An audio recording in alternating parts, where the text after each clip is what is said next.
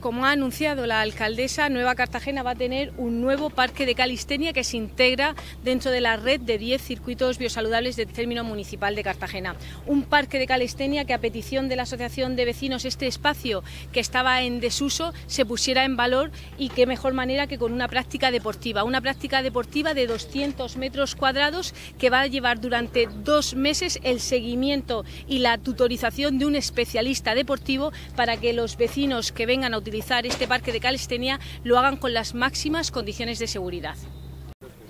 Este espacio de 200 metros cuadrados van a contar con una gran estructura de espaldera, tres bancos de abdominales, va a contar con paralelas, con una barra de dominadas, con un monkey bar y además eh, todo en suelo de caucho para minimizar el impacto deportivo en la utilización del mismo. Sí, por fin se ha hecho realidad el comienzo hoy de, una de las peticiones que le estábamos haciendo a la alcaldesa Noelia Arroyo y a nuestra concejala de, de barrio Cristina Mora de hacer este parque de calistenia, el cual lo estamos esperando hace tiempo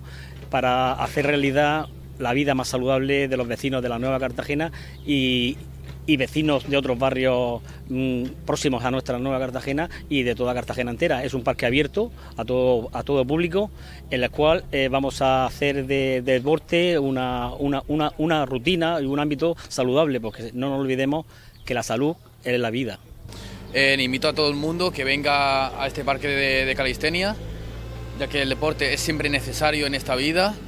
y para la gente que eh, no tenga o le pille muy lejos eh, un gimnasio, aquí tiene un, gimnasio al aire libre,